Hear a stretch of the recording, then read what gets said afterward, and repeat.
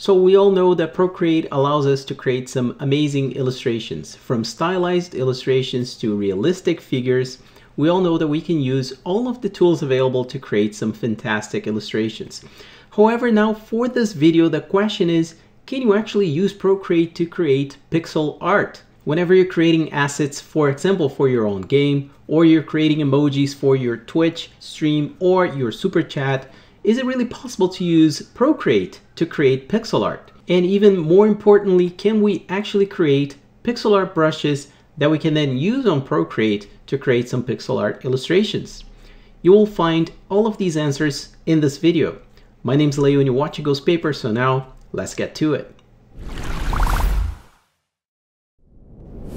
Alright, now that we're here on Procreate 5, let's start by creating a canvas that actually is more geared towards pixel art.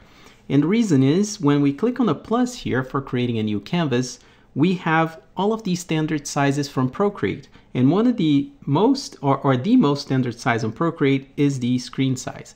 The screen size on the iPad Pro is somewhere around 2732 pixels by uh, 2048 pixels, which is way more than what we need when creating pixel art.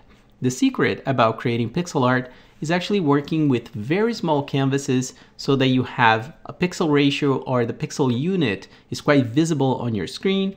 And then once you're done with your illustration, you can then scale that up to the sizes that you actually need, say for like a phone screen size or uh, an HD size or even websites. And there are ways to actually scale up these images without losing the quality of your pixel art.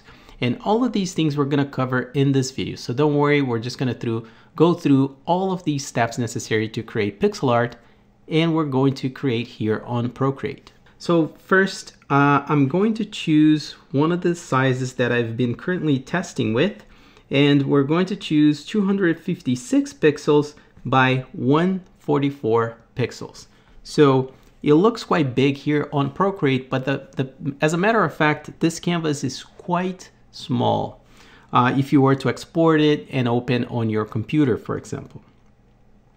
Now, I'm just gonna choose a very dark color, probably black for the background. And the next step here is that we're gonna go into the Actions menu, uh, Preferences, and uh, actually, sorry, Canvas, and we're gonna turn on the drawing guides. And now we're gonna click on edit drawing guides. And as you can see here, we have a drawing guide which has about 18 pixels for the grid size. Now, because we wanna do pixel art, I'm going to reduce this to all the way down to pretty much zero pixels or one pixel. And by clicking done, now we have the unit of our, of our one pixel is here on the screen. So whenever I'm going to start drawing my pixel art, I'm going to be able to see if that is actually the unit of one pixel or not. So we're also, just before that, I'm just going to go into edit drawing guide because I'm, I'm actually noticing how strong this is on the screen. And it's probably not going to be uh, really good to have um, a grid that is that visible. So I think that's probably a little bit better. And I know maybe the resolution won't be that great, but I just want to be able to show you how we can actually build and if we can actually build a pixel art brush here on Procreate. So now we're gonna go back into the full white because for this test, we're actually gonna be using white brushes just to see like on a black background if they really stand out and if they are pixel brushes. So the very first test that I wanna make, I wanna go into the, um, let's just say painting, no, um, probably airbrushing we're gonna get the hard airbrush, we're gonna make a copy, and we're going to start editing this. But just before we edit, just like on this brush itself, if we reduce it to the minimum size, and we just try to draw, we have something that almost looks like a pixel brush.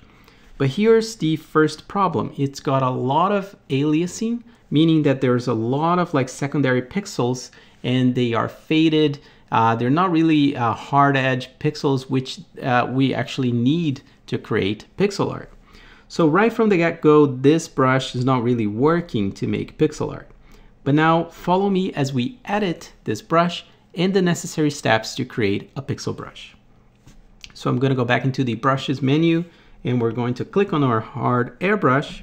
Spacing, I'm just gonna put down to none. Tapering, we're going to turn it off.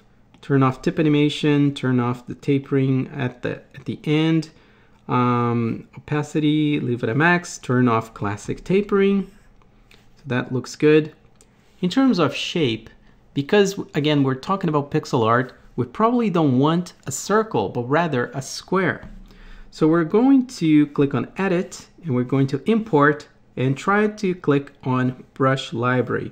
And right here, let's see if we actually have a square. So we don't really have a square in the um, shape source, but let's take a look on grain source. So I believe we're, oops, I just got the wrong one, definitely not this one. So I'm just gonna choose blank and I'm gonna click done. So now we have a little square here and it seems like there's still a little bit of a like an opacity thing happening. We're gonna turn off randomized because we definitely want these squares to be um, you know very parallel to uh, to each other. So uh, let me just see. Another thing that we probably want to turn off is any kind of filtering. So that option is actually quite hidden. So you want to scroll all the way down on the shape and we're going to, going to turn off filtering. So now let's keep going on grain source. Uh, we're to leave it as is. We're to just turn off filtering as well. Now rendering, it says intense blending. So I believe we're probably to leave it on intense blending. Wet mix, I'm just probably to turn this off for now. There's no color dynamics really that we need to take a look here. And now in dynamics, still pretty good. Here we go. So option Apple Pencil and then flow, we definitely want to turn off this all the way down to zero. And this is really starting to, uh, to create something really interesting for us. Uh, here on tilt, I'm gonna leave it at 90 degrees. No size compression. Finally on properties, this is something where I also think is quite important. So on the properties tab, we actually want to have a pixel brush. So what we're going to do here on maximum size, we're going to leave it at 1, at 1%, and then on minimum size, we're going to leave it at 1% as well. So this is starting to look like a pixel brush. Now, maximum opacity, minimum opacity, I'm going to leave minimum opacity to none, and I'm to hit done. So now when we zoom in on the canvas and I start painting, I almost have a one pixel brush. So what's happening here, it's like it's trying to guess, to guesstimate here uh, the best placement of this um, pixel onto the canvas, but it's still creating almost like at times a three by three pixel brush. So one more thing that we're going to do, we're going to go into preferences and then we're going to go into edit pressure curve and now we're going to max this out. And the reason for that is that I've also noticed that this actually generates the best um, look when we are playing with pixel brushes because it eliminates any kind of opacity or kind of a pressure once you're drawing uh, lines and dots on the screen. So the so far it looks like it is possible to create pixel art. But it seems like setting up the brush for one pixel art brush is not as easy as possible. It's not as easy as it looks like. So this is what I did guys. For this video, I've actually created already here on this tab, I've created 12 different pixel art brushes and I went through the trouble of finding the right size for the shape. So I've actually created these custom shapes and I've set up all of the necessary options so that we have our one pixel brush and there it is. So you can create lines, you can um, draw just by tapping on the screen. So sometimes I actually tap a little stronger and it creates two pixels. but this is definitely a one pixel brush. And you still get a little bit opacity if you want to. Uh, it's maybe too, too low. So here you see there's a little bit of opacity and now you can create a little bit more, a little bit more opaque, so on and so forth until you get to 100% uh, opacity. And with that, you can create some really interesting shading on your illustrations and anything that you're creating. So continuing with the list, I've then made the two pixel brush, which is this one right here. Then I've made the six pixel brush. So it's something like this square. And then finally, there's the 12 pixel brush, which is really, really big. So this, these were like the basic brushes. And then I kept going and I've made some little stars that you can populate your illustrations. There is also the round brush of 8 pixels. Some people, uh, you know, you may also want to uh, use pixel art by drawing circles or dots around the screen instead of having the square as your as your measure, as your base measure. Then we have the 16 uh, pixel line or brush. And then I've also made this really, really cool kind of cloud brush. So you can do like smokestacks, especially playing with opacity. So this brush, I highly recommend that you actually use with opacity so that you can get the best result. And then finally, I've created these really, really cool kind of glitch brushes. So this is one of the brushes. Then I have glitch 2, which has way more pixels.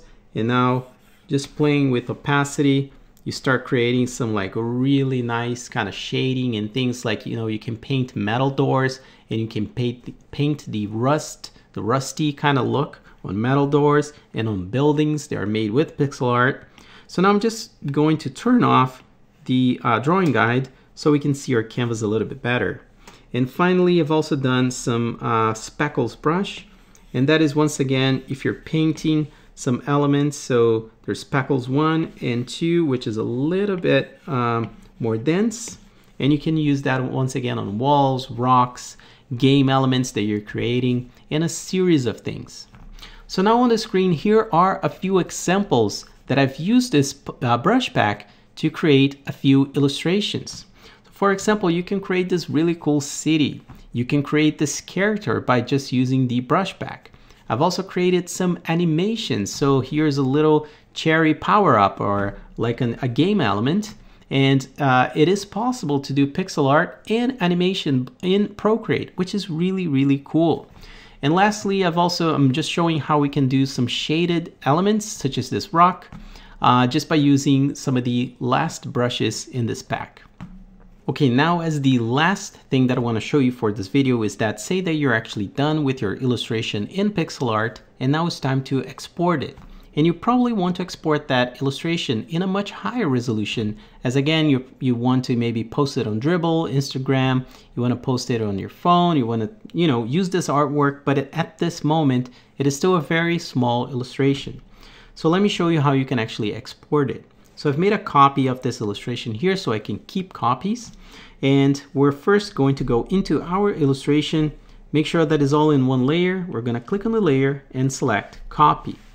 Now we're going to go outside of our illustration, click on a plus sign, and now we're going to create a new canvas. And this time I'm making a proportional size canvas, but at a much higher resolution. So right here we have a 1920 by 1080p pixels uh, resolution for this canvas. So now I'm gonna click on the uh, actions menu and then add, I'm gonna hit paste. So now see that this is the size of our illustration that was done in pixel art. So now that we have our illustration here, in the modes, we're gonna go into uniform and in the interpolation methods here for scaling this, we're going to select nearest neighbor, and that is the mode that keeps the hard edges on your illustration, and that's going to keep your pixel art intact. So I'm just gonna, you know, we leave it on nearest, nearest neighbor, and I'm just going to move this to one of the corners of our canvas and keep scaling our illustration right here I'm going to hit the arrow key. So you know, as, as you have your illustration selected and when you scale up, it looks like it's going to blur blurry the pixels, but once you exit exit this mode of scaling up, you see that actually has not uh, created any problems on your illustration. So now finally, I'm just gonna create a new layer here because there's a bit of a white border. I'm just gonna use an eyedropper, select our color, and drag it onto the canvas. So now we have our illustration, and when I go back into the gallery, you see that see that this illustration is at 1920 by 1080 pixels. So this is the highest, uh, you know, the high pixel version of our illustration. Now we can go back into the actions menu, hit the share button and share as any of the uh, you know image methods that you prefer. So that does it for this video guys. In conclusion, it is possible to do pixel art in Procreate and it is, it is amazing to actually stay in Procreate as you're able to use this brush pack if you want to to create your own illustrations. So I'm going to be leaving this link in the description box of this video for you guys to check it out and see if this could be a helpful tool for you in your pixel art illustrations and in your workflow.